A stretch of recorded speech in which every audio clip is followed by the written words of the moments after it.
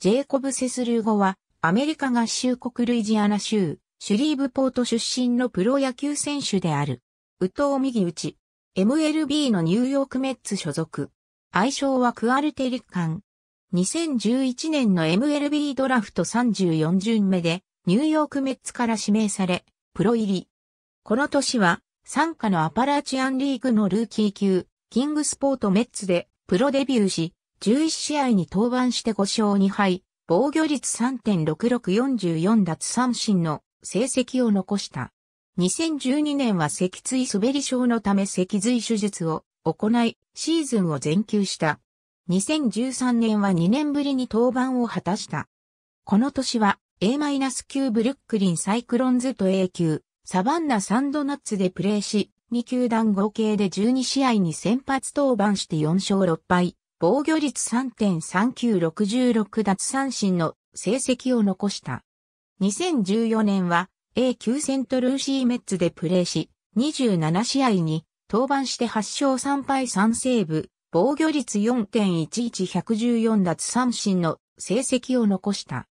2015年は A 級ビンガムトンメッツとトリプル A 級ラスベガスフィフティワンズでプレーし、24試合に先発登板して8勝7敗、防御率3.84127奪三振の成績を残した。オフの11月20日にルール5ドラフトでの流出を防ぐためにメッツの40人枠入りした。2016年は開幕をトリプル A 級ラスベガスで迎えた。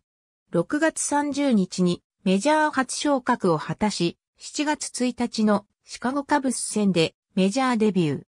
当初はリリーフでの起用だったが、8月19日以降は先発ローテーション入りし、25日のセントルイスカージナルス戦で先発して5回無失点の投球でメジャー初勝利を挙げた。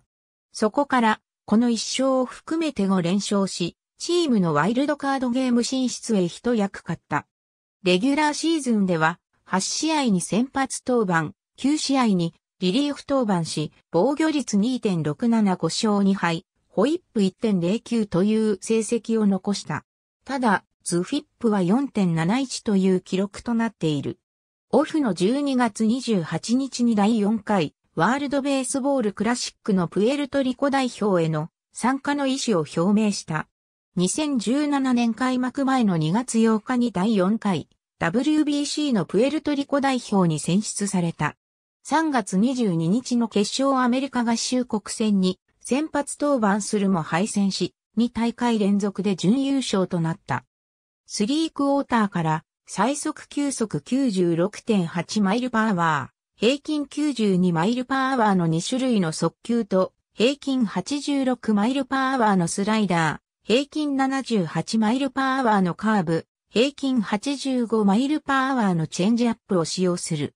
カーブの回転量はメジャーでもトップクラスであり、2016年の最高回転速度は 3498rpm、平均 3337rpm であった。ありがとうございます。